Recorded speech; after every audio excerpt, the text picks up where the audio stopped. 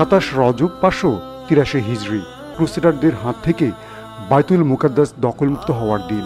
মুসলিম বীর সেনাপতি সুলতান সালাউদ্দিন আয়বির যোগ্য নেতৃত্বে মুক্ত হয়েছিল বাইতুল মুকাদ্দাস। আসসালামু আলাইকুম, সবাইকে স্বাগত জানাই মাসুম মাহবুব। প্রিয় দর্শক, আপনারা অনেকেই মসজিদুল আকসার ইতিহাস জানতে চেয়েছেন। আজকের ভিডিওটি আপনাদের জন্য।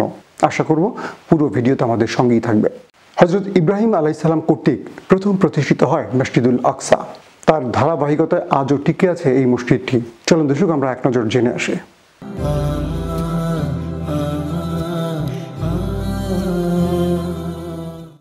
হজরত ইব্রাহিম আলাইসাল্লাম কর্তৃক কাবাঘর নির্মাণের চল্লিশ বছর পর তার ছেলে হজরত ইসাক আলাইসাল্লামের সন্তান হজরত ইয়াকুব আলাইসাল্লাম ফিলিস্তিনের জেরুজালেম নামক স্থানে আল আকসা মসজিদ নির্মাণ করেন। অতপর তার ছেলে হজরত ইউসুফ আলাইসাল্লামের বংশধর হজরত দাউদ আলাইসাল্লামের সন্তান হজরত সুলাইমান আলাইসাল্লাম তা পুনর্নির্মাণ করেন। তিনি রমজান মাসের শেষ শুক্রবার জেরুজালেম নগর প্রতিষ্ঠা করেন। প্রথমে কাবা, কিবলা থাকলেও মসজিদুল আকসা বা বাইতুল মুকাদ্দাস স্থাপনের পর এটি কিবলা হিসেবে স্বীকৃতি পায়। আমাদের প্রিয় নবী হজরত মোহাম্মদ সাল্লাহ আলাইসাল্লাম ওহিলাভ ও নবুদ প্রকাশের সময় বায়তুল মুকাদ্দাসি কিবলা ছিল। হজরত মোহাম্মদ সাল্লাহ আলাইসাল্লাম মদিনায় হিজরতের প্রায় দেড় বছর পর এই কিবলা পরিবর্তন হয়ে পুনরায় কাবা কিবলা হিসেবে নির্ধারিত হয়। মদিনা শরীফে দুই কিবলার মসজিদও রয়েছে। ঐতিহাসিক এই ঘটনাকে তাহবিলে কিবলা বা কিবলার পরিবর্তন বলা হয়। এ ব্যাপারে পবিত্র কুরআনুল করিমে সুরা বাকারায় একশো বিয়াল্লিশ এবং একশো একান্ন নম্বর আয়াতে বর্ণিত আছে। এই থেকে ইসলামের দ্বিতীয় কিবলা বাইতুল মুকাদ্দাস মুসলমানদের প্রথম কিবলা হিসেবে পরিচিত হয়। হাদিসে আছে, কাবা শরীফে তথা মসজিদুল হারামে নামাজের এক লাখ গুণ সোয়াব মদিনা শরীফে মসজিদুল নববীতে নামাজে পঞ্চাশ হাজার গুণ সোয়াব বাইতুল মুকাদ্দাসে নামাজে পঁচিশ হাজার গুণ সোয়াব রয়েছে। মুসলমানদের কাছে বাইতুল মুকাদ্দাস বা মসজিদুল আকসা সবসময় সম্মানিত। রাসুল সাল্লাহু আলাইসাল্লাম মিরাজ রজনীতে মসজিদুল হারাম তথা কাবা শরীফ থেকে মসজিদুল আকসা তথা বাইতুল মুকাদ্দাসে প্রথম সফর করেন। মিরাজ গমনের সময় এই মসজিদে সব নবী রসুল সাল্লাহু আলাইসাল্লামের ইমামতিতে নামাজ আদায় করেন। এতে তিনি ইমামুল আম্বিয়া। সব নবীর ইমাম ও সৈয়দুল মুরসালিন সব রাসুলদের নেতা হিসেবে স্বীকৃত হন।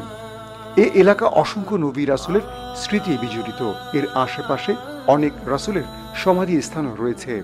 এটি দীর্ঘকালের ওহি অবতরণের স্থল।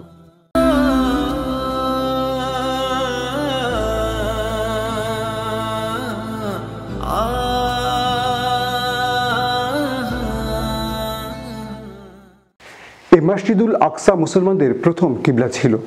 মদিনা থেকে আমাদের মহানবী সাল্লাহু আলাইসাল্লাম মিরাজের রাতে প্রথম এই মসজিদুল আকসায় পা রাখেন এবং তার নেতৃত্বে আমাদের সকল নবীরা নামাজ আদায় করেন। বাইতুল মুকাদ্দাস মুসলমানদের প্রথম কিবলা। অসংখ্য নবী রাসুলের স্মৃতি বিজড়িত ঐতিহাসিক স্থান ও মর্যাদাপূর্ণ ইবাদতের জায়গা এই বাইতুল মুকাদ্দাস। মহানবী সাল্লাহু আলাইসাল্লাম ঐতিহাসিক মেরাজের রাতে বাইতুল হারাম তথা কাবা শরীফ থেকে মসজিদুল আকসা তথা বাইতুল মুকাদ্দাসে প্রথম সফর করেন। পবিত্র ও মহিমাময় সত্তা তিনি, যিনি শিও বান্দাকে রাতের বেলায় মসজিদে হারাম থেকে মসজিদে আকসায় ভ্রমণ করিয়েছিলেন, যার চারদিকে আমি পর্যাপ্ত বরকত দান করেছি এবং যাতে আমি তাকে কুদরতের কিছু নিদর্শন দেখিয়ে দিই। এই মসজিদে আকসা বহুকাল ধরে ইসলামের প্রাণকেন্দ্র এবং ইসলামী সংস্কৃতির চারণ ভূমি হিসেবে পরিচিত ছিল। খলিফাতুল মুসলিমিন হজরত ওমর রাদিয়াল্লাহ তালা আনহু খেলাফতের সময় ছশো সালে বাইতুল মুকাদ্দাস, জেরুজালেম সহ পূর্ব ফিলিস্তিন পুরোপুরি মুসলমানদের অধিকারে চলে আসে। এক হাজার নিরানব্বই সালের পনেরো জুলাই খ্রিস্টান ক্রুসেডাররা নামধারী মুসলমান শাসকদের সহায়তায় সমগ্র সিরিয়া, ফিলিস্তিন ও জেরুজালেম দখল করে।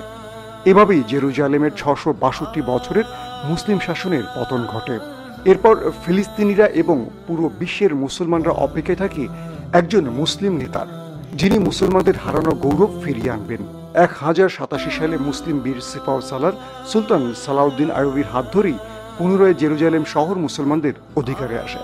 সুলতান সালাউদ্দিন আয়বি জেরুজালেম স্বাধীন করার পর থেকে ফিলিস্তিনে ইসরায়েল রাষ্ট্র প্রতিষ্ঠার ষড়যন্ত্র শুরু হয়। এ অসৎ উদ্দেশ্য বাস্তবায়নের জন্য ইহুদি ধর্মাবলম্বীরা তৎকালীন তুরস্কের শাসক সুলতান আব্দুল হামিদের কাছে ফিলিস্তিনের বসতির অনুমতি চায়। দূরদর্শী সুলতান তাদের এই দুর্বিসন্ধিমূলক প্রস্তাবে রাজি হননি।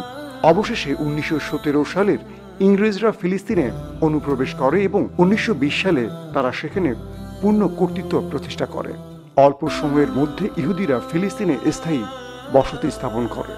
ইতিহাস বলে ওসমানী সালতানাতের হাত থেকে এই মসজিদুল আকসা ইহুদিদের দখলে নেয়ার ব্যাপারে আরবদের বিশ্বাসঘাতকতার প্রমাণ রয়েছে। আরবরা ওসমানী সালতানাতের সাথে প্রতারণা করায় ফিলিস্তিন তথা বাইতুল মুকাদ্দাস ইহুদিদের ভাগ্যে জোটে।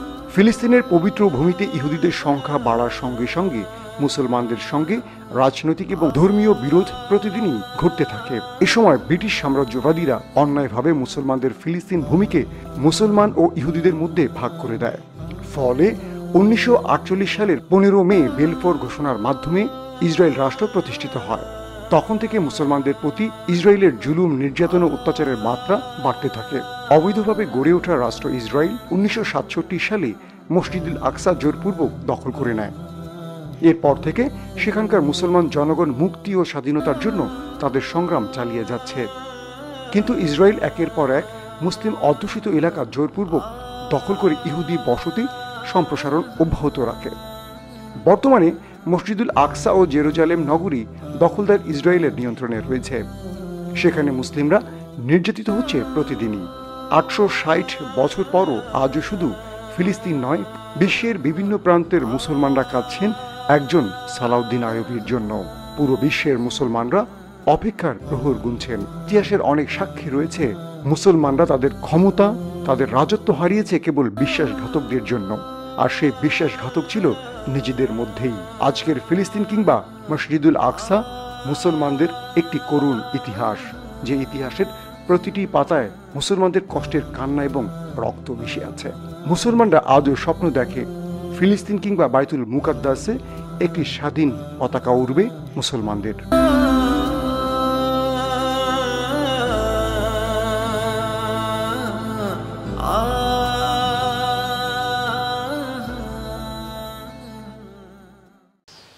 একজন কাঠুরিয়া, তিনি একটি মিম্বার নির্মাণ করেন এবং তার স্বপ্ন ছিল সেই মিম্বারটি মসজিদুল আকসায় তিনি বসাবেন। অনেকেই তাকে নিয়ে হাসাহাসি করত। পাগল নাকি তিনি? একবার বাবার সঙ্গে সেই মিম্বারটি দেখতে ছুটে আসেন এক ছোট্ট বালক এবং তিনি কাঠুরিয়ার স্বপ্নের কথা জানেন। পরবর্তীতে তিনি কাঠুরিয়াকে প্রতিশ্রুতি দেন যে তিনি এই মিম্বারটি মসজিদুল আকসায় বসাবেন। সেই ছোট্ট বালকটি ছিলেন সালাউদ্দিন আয়ুবী বাগদাদ শহরে এক কাঠমিস্ত্রি বাস করতেন। এই কাঠমিস্ত্রি মনের ভালোবাসা দিয়ে কারুকার্যমণ্ডিত একটি মিম্বার তৈরি করেন। মিম্বারটির সৌন্দর্যের কথা লোক মুখে ছড়িয়ে পড়তে শুরু করে চারদিকে। সেই মিম্বারটি দেখতে চারদিক থেকে লোকজন জড়ো হতে শুরু করে। আবার অনেকেই এই মিম্বারটি দেখে কিনতে চায়, কিন্তু কাঠমিস্ত্রি তা বিক্রি করতে রাজি হয়নি। যখন সবাই এই মিম্বারটি কিনতে চায় তখন কাঠমিস্ত্রির জবাব, তিনি এই মিম্বারটি বিক্রির জন্য নয়, বরং বানিয়েছেন মসজিদুল আকসার জন্য। কাঠমিস্ত্রির কথা শুনে সবাই হাসতে থাকে। অনেকে তাকে পাগল বলে সম্বোধন করত, কিন্তু কাঠমিস্ত্রি তার সিদ্ধান্তে ছিলেন অটল এবং অবিচল। দীর্ঘ সময় পর একদিন ছোট্ট ছেলে তার বাবার হাত ধরে মিম্বারটি দেখতে এসেছিলেন। কাঠমিস্ত্রির কাছে তার স্বপ্নের কথাও জেনেছিলেন। সেদিন ওই ছোট্ট ছেলেটি প্রতিজ্ঞা করেছিলেন সে কাঠমিস্ত্রির স্বপ্ন পূরণ করবে। সেই ছেলেটি আর কেউ নন। তিনি হলেন মুসলিম বীর সেনাপতি সুলতান সালাউদ্দিন আয়ুবী আর তিনি বাইতুল মুকাদ্দাস বিজয়ের পর সেই মেম্বারটি এই মসজিদে স্থাপন করেছিলেন। সালাউদ্দিন আয়ুবীর জন্ম বর্তমান ইরাকের টাইগ্রিস বা দজলা ও ইউফ্রেটিস বা ফোরাত নদী দুটির মধ্যবর্তী অঞ্চলে গড়ে ওঠা মেসোপটেমিয়ার তিকৃতে তিনি জন্মগ্রহণ করেন এগারোশো সালে। তার নাম ইউসুফ। সালাউদ্দিন হল লকব, যার অর্থ বিশ্বাসের ন্যায়পরায়ণ। তিনি ছিলেন মিশর ও সিরিয়ার প্রথম সুলতান এবং আয়বীয় রাজবংশের প্রতিষ্ঠাতা। ক্ষমতার সর্বোচ্চ শিখরে তার সালতানাতে মিশর, সিরিয়া, মেসোপটেমিয়া, হেজাজ ও ইয়েমেন এবং উত্তর আফ্রিকার অন্যান্য অংশ অন্তর্ভুক্ত ছিল। সালাউদ্দিন ছিলেন মুসলিম, আরব, তুর্কি ও কুর্দি সংস্কৃতির গুরুত্বপূর্ণ ব্যক্তিত্ব। এগারোশো সাতাশি সালে মুসলিম বীর সুলতান সালাউদ্দিন আয়বির হাত ধরেই পুনরায় জেরুজালেম শহর মুসলমানদের অধিকারে আসে।